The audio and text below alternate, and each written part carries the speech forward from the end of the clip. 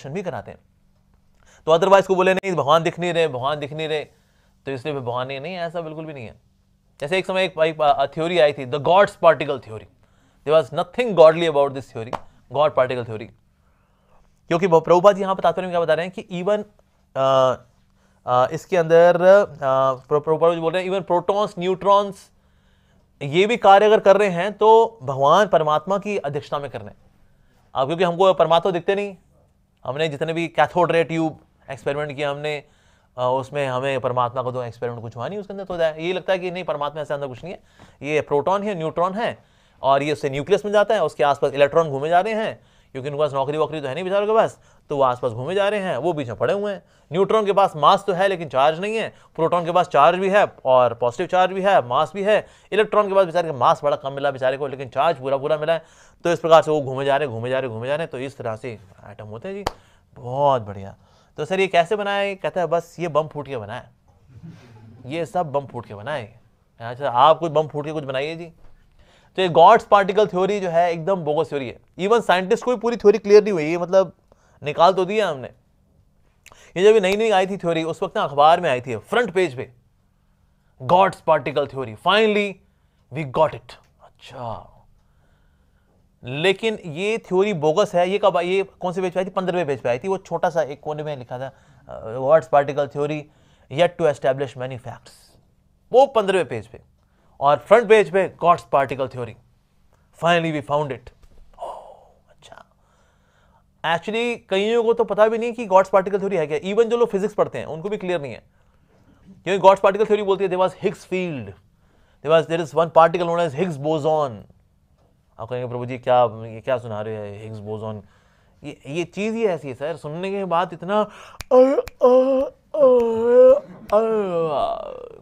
Higgs boson particle which is very unstable as soon as it comes into existence it start deteriorating and there is Higgs field the Higgs field gives the mass as well as the charge and then there is a bang boom sir ये पर ये sir बम फटा तो लेकिन इसमें RDX किसने supply किया था इसमें कहता यार ये तो यार पता नहीं यार आरडीएक्स किसने सप्लाई किया था अच्छा सर वो आरडीएक्स सप्लाई किसने भी कर दिया हो लेकिन सर इसमें उसकी बत्ती में आग किसने लगाई उसने यार ये बत्ती में आग किसने लगाई यार ये भी पता नहीं सर, ये फिर बम फटा कर यार, ये तो यार, ये सवाल मत पूछा करो।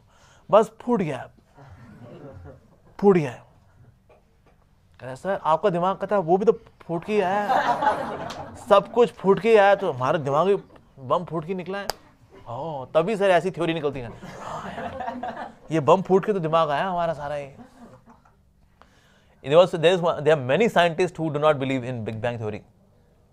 और especially when कहते हैं, आई जैसा डेलिकेट स्ट्रक्चर जिसमें कॉर्निया है, जिसमें रेटिना है, जिसमें लेंस है, जिसमें ऑप्टिक फाइबर है, इतना नाजुक मास्टरपीस ये बम फूटी कैसे आ सकता है? ये तो किसी ने बनाया होगा, ये तो किसी ने डिज़ाइन किया होगा एक्चुअली तो भगवान इस जगत के अंदर वास्तव में व्याप्त हैं। अगर हम क्रिएशन में देखें ना क्रिएशन में हम भगवान को सब जगह देख पाएँगे इस जगत के अंदर। हमारी बॉडी के अंदर रेस्पिरेटरी सिस्टम भी है आर्टिरियल सिस्टम है वीनल सिस्टम है नर्वस सिस्टम है so many system working together हमको तो होश भी नहीं हो सिस्टम का। हम तो बस गप मार रहे होते हैं। क्या भाई, तेरे को पता है ये तो गप मार रहे थे कौन कौन सिस्टम का काम कर रहे हैं? कहता पता नहीं।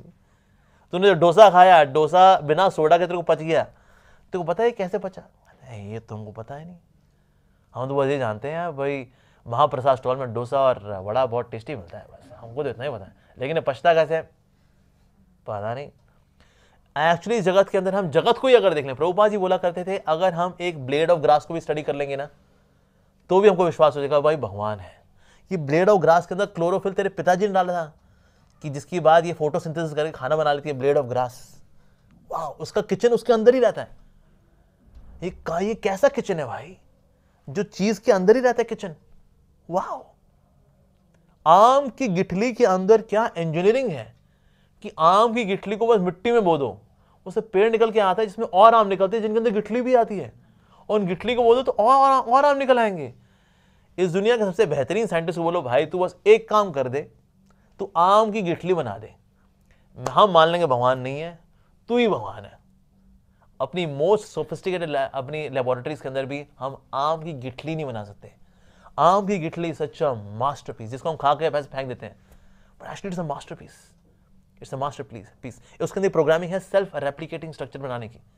तो भगवान इस जगत के अंदर व्याप्त हैं, लेकिन वो देखने के लिए वास्तव में हमको दिव्य चक्षु चाहिए होते हैं। दिव्य चक्षु क्या थोड़ी कॉमन सेंस भी लगाएँगे अगर ना तो भी समझ जाएँगे वास्तव में